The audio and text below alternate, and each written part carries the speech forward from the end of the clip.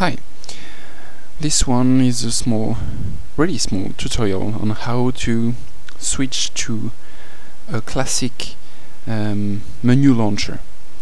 Uh, since uh, KDE 4.0 we have the kickoff menu.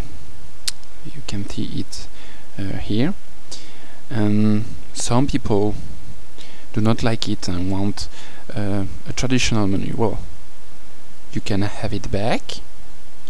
Just right click on your uh, menu launcher. Oh yes it's not there.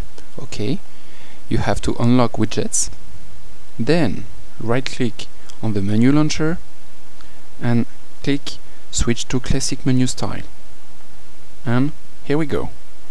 Now I have a simple menu with the favorite basic uh, desktop uh, actions and uh, all my applications.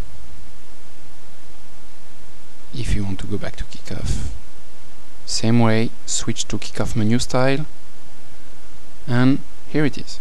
Kickoff is back. So I hope this way everyone will be happy. Enjoy KDE.